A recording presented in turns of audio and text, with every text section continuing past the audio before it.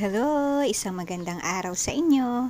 Pagkadating nga pala ni Papa Rex galing trabaho, ito dala na niya yung mga jersey nila. Sa company kasi nila, nagpapalaro ng basketball. Kaya no nag-pandemic na hinto, pero ngayon binalik na nila ulit. Dati tuwing April nag start ngayon inagahan na nila. Libre lang yung jersey ni Papa Rex. Kaya lang nagpapagawa siya talaga ng para sa mga anak niya. Itong dalawang binata niya kasi napakahilig din talagang mag-basketball parang siya. Tawang-tawa si John Rex, yung laki ng butas sa kilikili niya eh. Binata pa lang kasi si Papa Rex, napakahilig na talaga niya mag-basketball. Kwento nga niya, bawat liga sa kanila kasali siya. Kaya naman itong mga anak niya nagmana sa kanya. Kagabi nga din ito, may dalang lechong manok si Papa Rex. Kaya lang sa sobrang hina naman namin kumain paggabi, ito may tira pa. Tamang-tama naman yun para may ulam kami ngayon tanghali.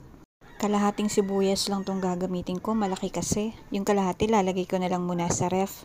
Pwede pa ulit yan magamit mamaya. Shuffle lang natin tong ulam kasi alam niyo naman pagka minsan ang mga bata yung nagre-repeat ng ulam. Pero pag niluto ko ulit to, sigurado kakainin ulit nila.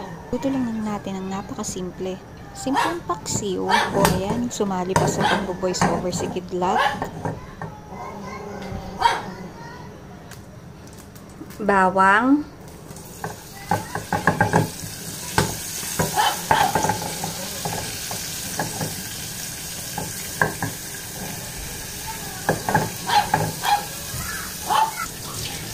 sibuyas,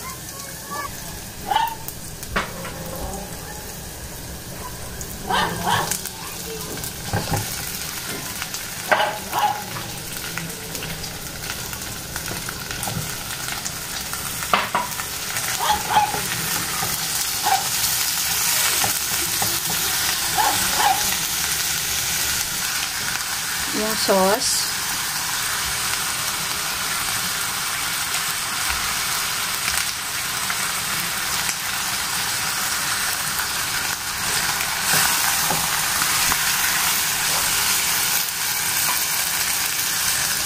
Toyo.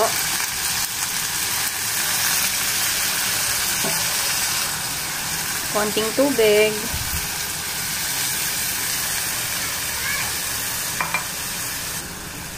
Paminta, konting laurel, asukal, suka.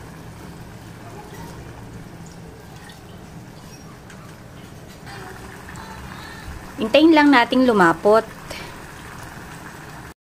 O ayan, luto na. Simple lang pero masarap to. Kahit tira pa yan na lechong manok, pwede pa rin natin yan gawing lechong paksiw. Ganon talaga tayong mga nanay, hindi pwede mag-aksaya. Kakahinayang kasi pag magtatapon ka ng pagkain. Kayo po, meron pa po ba kayong ibang alam na luto sa lechong paksiw pag may mga tirang lechong manok? Ito lang kasi ang alam kong gawin pag lechong manok eh. Pag minsan, perito lang. Suggest naman po kayo.